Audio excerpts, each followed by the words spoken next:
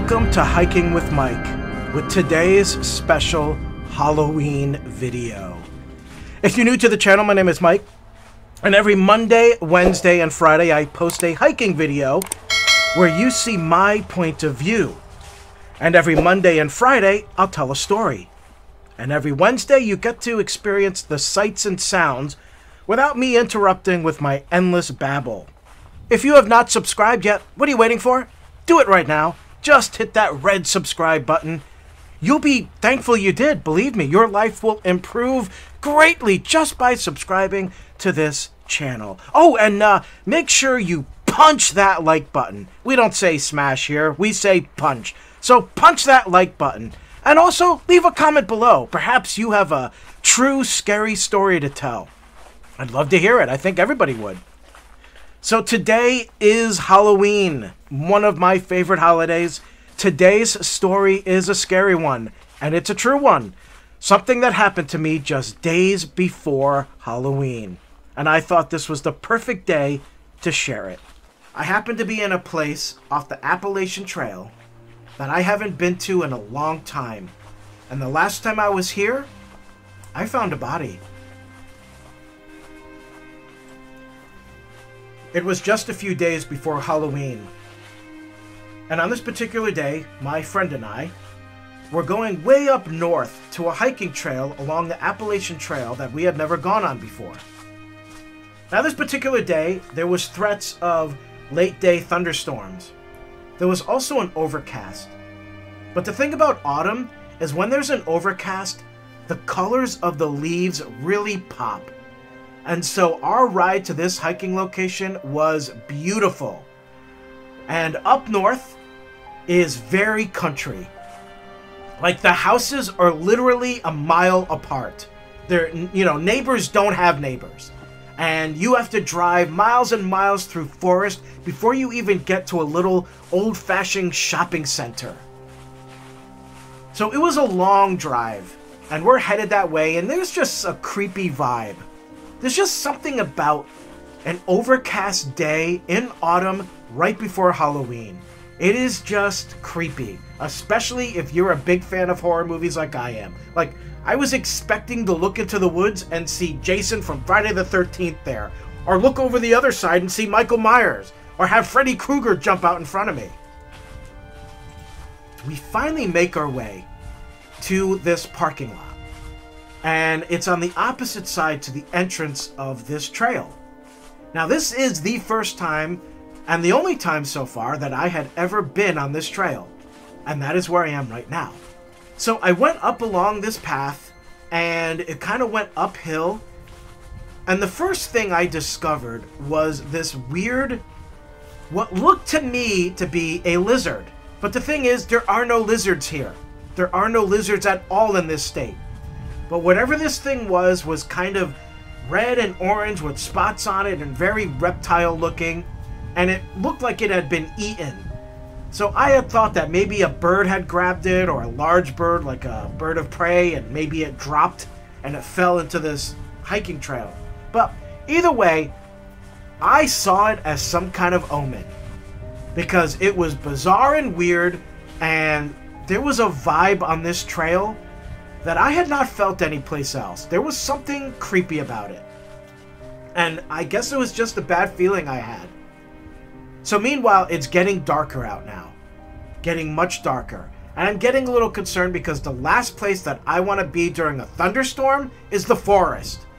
You know, when a, a bolt of lightning strikes a tree and that tree explodes, it is insane. It is insane. Pieces of tree shoot off in every direction like it's nothing. And those are giant spears. And if you happen to be in that area, there is a chance you're not going to survive. So I do not want to be out there during that thunderstorm. So we feel a little bit of raindrops fall. And my friend and I'd say, so what do you think? Maybe get up to the top of the hill and make our way back? And we're like, and I'm like, yeah, I think that's probably the best thing to do. We don't want to get caught out here. So I happen to have my digital camera with me and I snapped a few photos, not a lot. So I put the camera away and we continue going to the very top of this very steep uh, hill. and we're following the trail markers. Now, here's the thing about hiking in the fall the pathway gets covered in leaves, so you can't actually see it. And if nobody had walked on that path in a day or two, it's completely buried. And it's very hard to see, so you gotta follow the, the trail markers, or you could easily get lost. And so we make our way up, and there's some beautiful views up there. And we're looking around, and it's just really nice. But then the rain starts. And so we both say, yeah, we better get back. And we turn around, and the trees are not marked. No markings on the trees. And we both look because you can't find the pathway, and we have never been to this place, so we don't know it. And you can't find the pathway because everything's covered in leaves. And the thing is, is it was a bit windy too, so new fresh leaves were falling where we just walked. So we both look at each other and we're like, what the hell's this? Where's the path? Like, where the hell is it? So I walk back down and I'm looking on the other side of the trees for the markers and I can't find them. And we're like, like, like, what the hell's going on? How could we lose the markers? Why and why didn't they mark the other side of the trees so that you can see to get out of here? And so we're looking all over for a way out, and there is none. And we're like, what the hell are we gonna do? The, the storm's coming. You can you can feel it. The rain is coming down. You can hear a little bit of the thunder. And we're both starting to panic now because we're out in the middle of nowhere. There's nobody around for miles on end. And we're stuck in the forest and, it's gonna thunder and there's gonna be rain and lightning and what the hell are we gonna do? And we start panicking.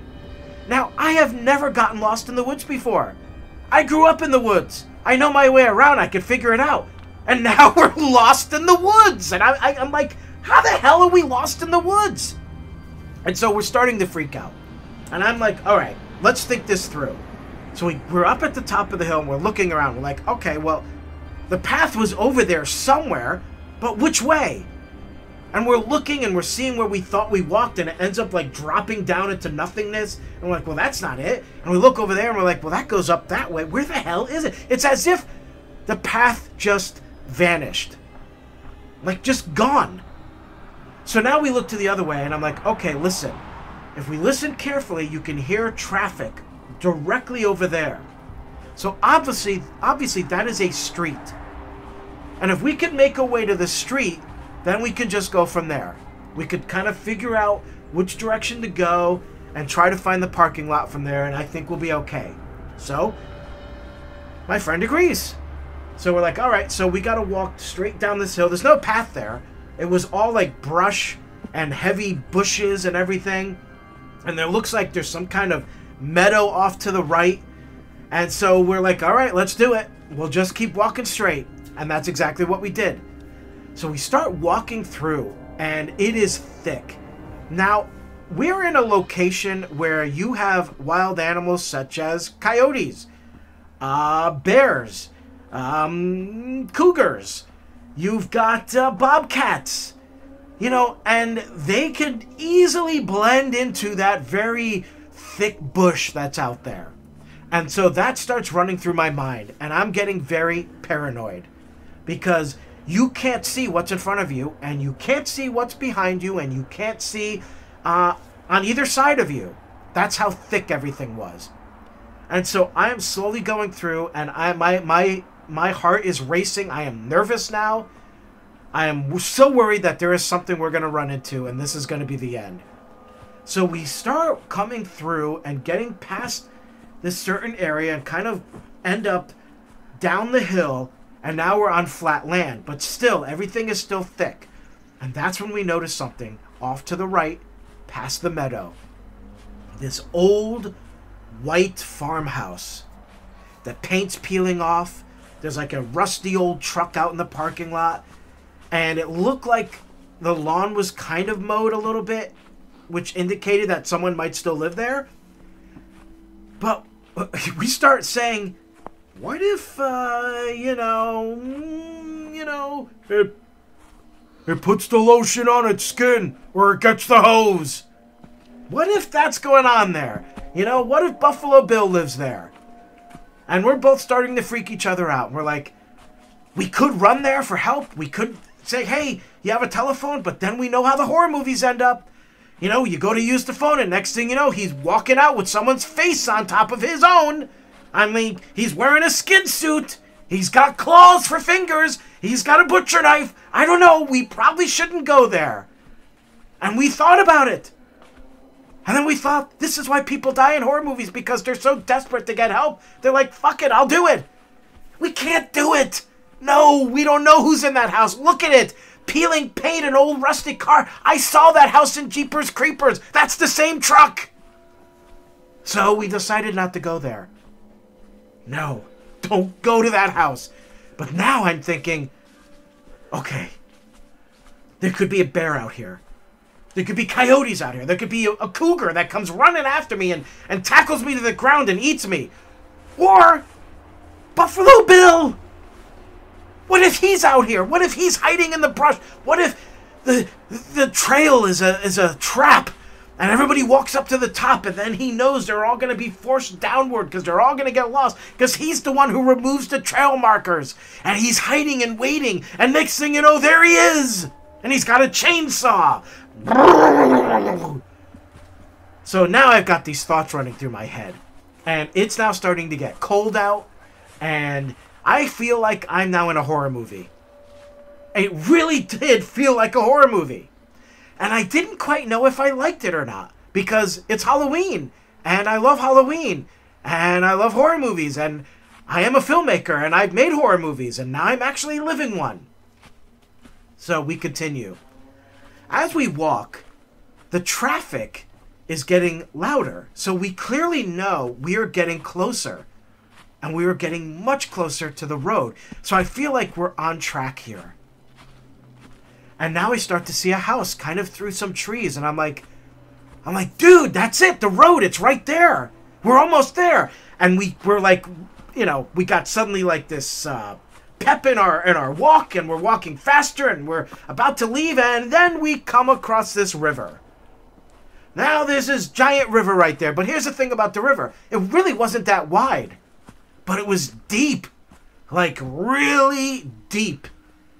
And this is the end of October. We had a very cold season that year, and that water is icy, icy cold.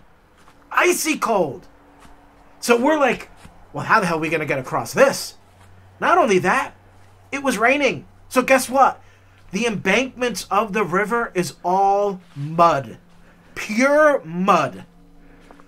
So now we're like, okay, we could try jumping, but most likely we will land on that mud and fall right into the river. We don't even know how far we are. So what if we're walking for like an hour and we're covered in this soaking wet water in this kind of temperature? What's going to happen? Are we going to get seriously ill? Are we going to actually freeze solid? I mean, we don't know. How deep is this river? You can't even see the the bottom of the whole thing. Like, we, you know, it's deep we were like sticking sticks down there and they just kept going and going and branch long branches. I mean, it was deep. Okay, it wasn't deep. It was like six inches, but we just were too afraid to walk in six inches of water. I mean, come on, it's six inches. No, no. It was deep. It was very deep. A couple of feet deep, three feet deep, four feet deep. I don't know. But all I could picture is, is just jumping across it and landing in the mud and sliding down and falling into the river and not being able to get out of the river because the whole embankment is wet squishy mud, and all you're doing is fighting for your life. So, I didn't know what to do, and he didn't either. So that's when I said, all right, you know what? Let's split up. I know. You're like, what? No way. Come on, Mike. You didn't actually say that. Yeah, I did. I did. You're like, I know. You're thinking, like, come on. You just talked about watching horror movies, and the whole thing about horror movies is when they split up, that's when really bad things happen. I know. I know. But the thing is, we had to. We had no choice. He had to go on one end to see if he could find an opening, and I had to go to the other because we were hoping that maybe the river had a bend in it and twisted and turned so we could walk along that that river. And I was looking on the other end, and so that's what happened. And so I went off my way. He went off his. Unfortunately, he didn't get far.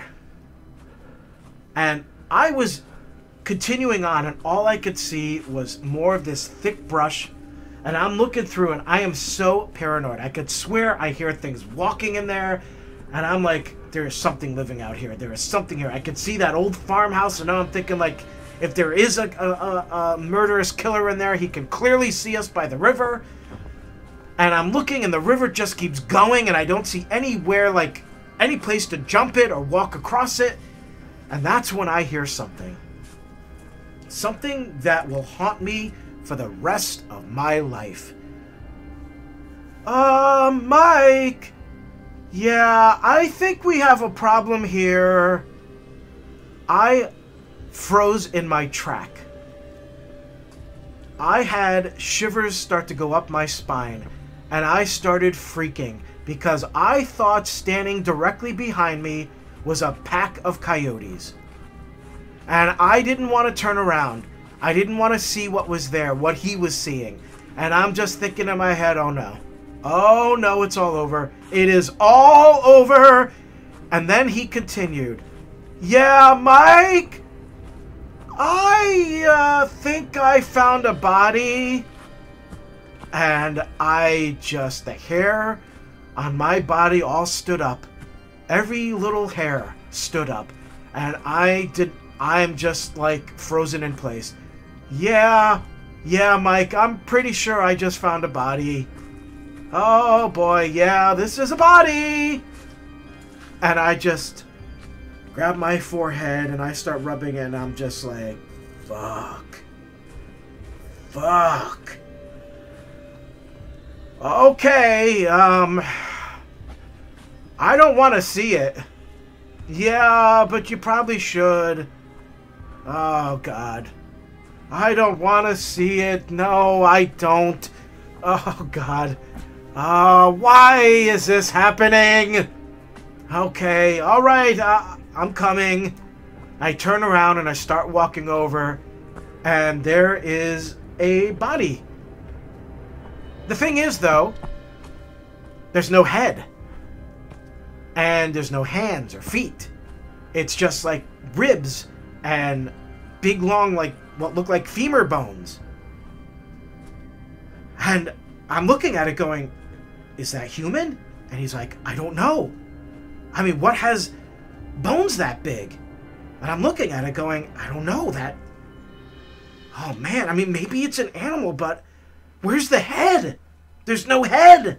And where's the rest of it? It's like a rib cage and and and the, like the the leg muscle, the leg bones and and little pieces, but where's the rest of it?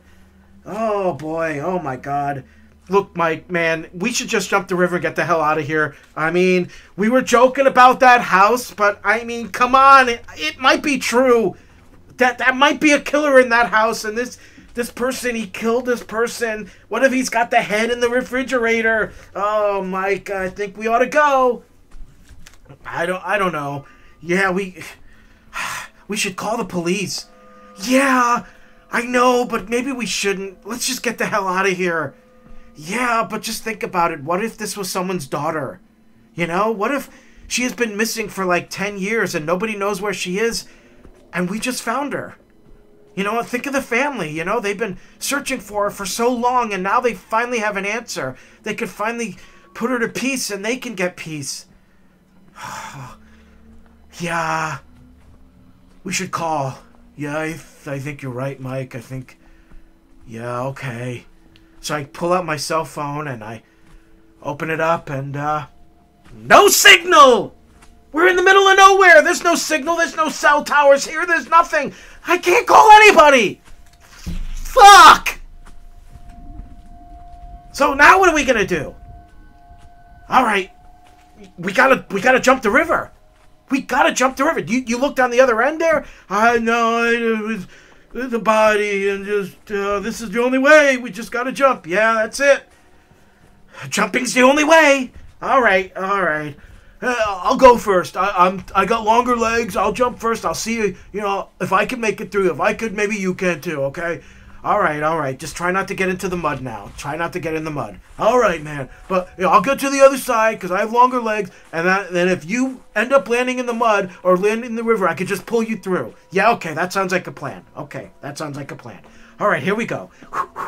All right, he's getting ready. He's like, "Ugh, uh, what if I fall in though? I know, I know, I know. We, we might, we might. But what else choice do we have? Yeah. So we're like procrastinating, but we know we have to. So he he's like he takes a run for it and he jumps and he lands on the other side, but yes, landed in the mud and started to slide down. But grabbed the ground and was able to, to prevent that from happening. Now it's my turn. And I really reached a point where I didn't want to think about it anymore. And I just did it. And I jumped and landed in that freaking mud. And I start sliding, but thankfully got the hell out of there. Did not end up in the. Well, I partially ended up in the river. My shoes were soaked. So now, as we head on the other side, we're now on the other side of the river, we realize we're in someone's backyard. And then we have the thought of, well, what if this house did it? What if they killed someone and threw them by the river? So we just walked out of there. And now we're on the street. And as it turns out, we can actually see the parking lot where we parked. We actually came out right at that spot. So that was just amazing in itself. So we decided, all right, let's call the police there. We'll call it from there. We go to the parking lot, still no signal. It's really shoddy.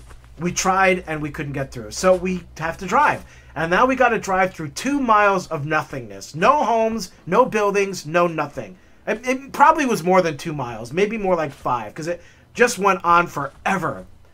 And finally, we make our way to this state camp. And they have a parking lot. So we try again, and it turns out we got a signal. So we decide that we need to stay there so we can direct the cop and he could follow us. So we call the police. We tell them, yeah, we think we found a body. We, we tell him where we're located. He goes, okay, I'll be right out. So we're waiting now. And while we're waiting, this green pickup truck with a light shows up. And we think that maybe this is related, that this cop called this guy. Turned out he was the park ranger. And we didn't even let him say hello. We just went right into, yeah, the body is up the street. It's a couple miles away. We'll take you right there. And he's just like, oh, okay. Uh, let me get my gear. I will have to give give credit to this guy because like he didn't even bat an eye. I say there's a human body up the street. He didn't even know this was going on. The state police didn't call him. He just saw that we were parked there and he wanted to let us know that the park was closing and wanted to make sure everything was okay. And we just go into, yeah, there's a body up the street, and yeah, yeah, if you want to, and then he was just like, uh, okay, I'll get my gear. So I got to give it to him. The guy didn't even flinch. As a coincidence, just as he said, I'll get my gear, a state police officer arrives. And the police officer then talks to that guy, and the guy's like, yeah, they said body? I was like, yeah, yeah, we're to go up and investigate. He's like, yeah, I got my gear. I could come too. You know, I got my gear, and I got this and that, and, you know, I'll, I'll come. So now, here we are. It is now dark. It is dark. It is cold. There is a full moon out. It is just days before Halloween. And I am in a real life horror movie. And here we are now, leading the police. We're driving with our flashers on, and behind us are the the police and then the ranger and all those lights are on too, and there we all three of us flashing our lights, headed off to where there may be a body. And it was such a surreal and bizarre experience. You know, we had now been become part of this thing. So we pull over to the side of the road in front of the house. The cop pulls up behind us. The ranger pulls up behind him. We all get out and we say, Yes, officer, the bones are right directly there on the other side of the river. And he's like, okay, okay. How'd you get even get out of there? What would you? And we're like, we had to jump the river. Okay, I see, I see.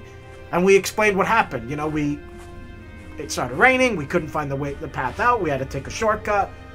So he's like, okay. Um, and the ranger's like, yeah, I can actually go back there.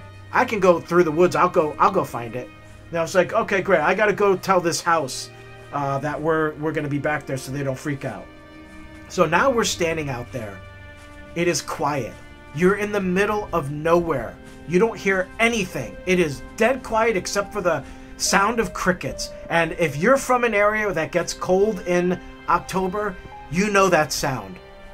it's only a few crickets. There's not a lot of them. And everything else is quiet. And you might just hear that slight wind.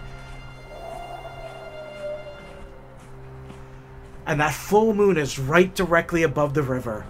Now the cop goes to the house and they won't answer the door. And now we're freaking out. Like, why won't they? We see them looking out the window, but they won't answer the door. And the cop's like, uh, you know, knocking on the door. He's even, he looks in the window, he waves at them, and nobody's coming out. And we're like, why aren't they coming out? Do they know something? Are they, do they know what, did they do this? So finally someone answers and the officer says, you know, just wanted to let you know we're, we're, we actually are investigating something in the back. Nothing for you to worry about, but we just didn't want you to freak out because we're back there. And that was that. Cop comes and rejoins us.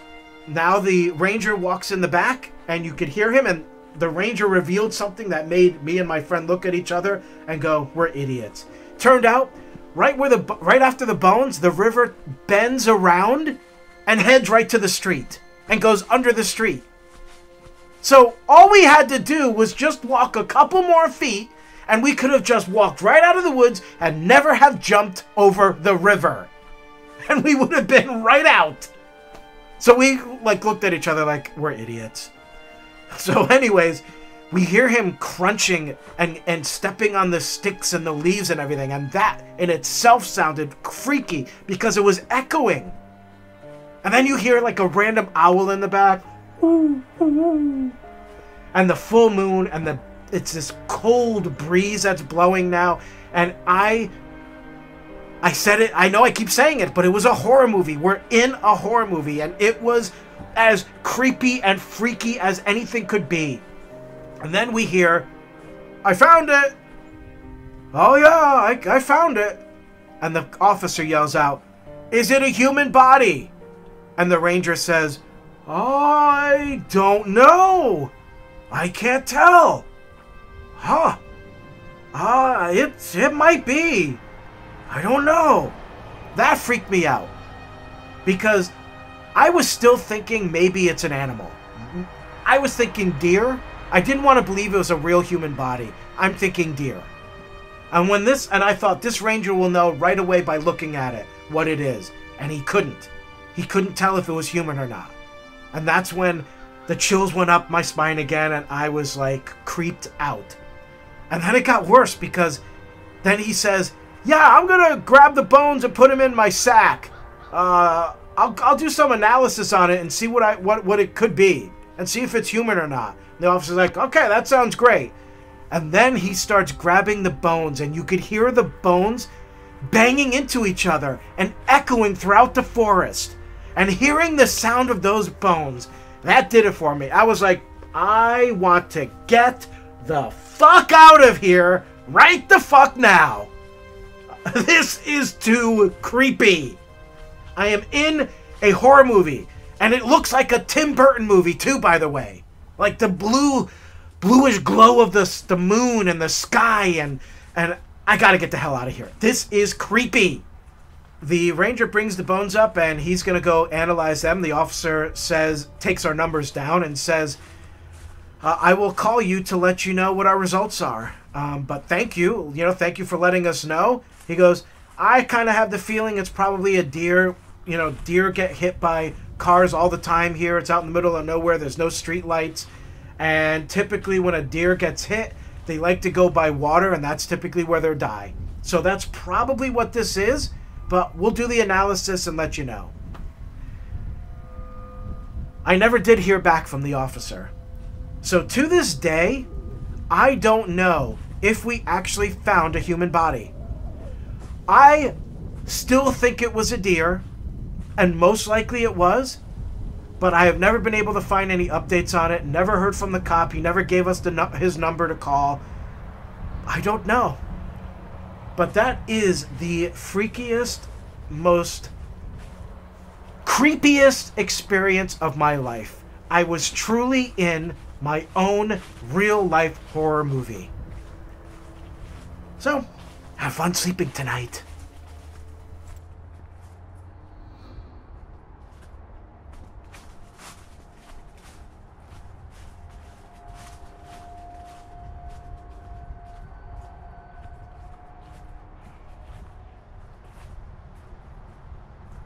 And now, a shameless plug. And now it's time for another shameless plug, where I plug something of mine, shamelessly. And today, it's paranormalaliens.com. It's a website that I have created that features all sorts of spooky and creepy items, things that come from outer space, things that come from the dark corners of your basement, things that come from the caves in the forest. Check out paranormalaliens.com for all sorts of really cool and creepy items that I have personally created. Do you know someone who is a big fan of horror or the paranormal, or is it to UFOs and aliens? Well, come to paranormalaliens.com and find the perfect gift item. Check it out today, paranormalaliens.com. And that was my shameless plug. Now back to the video.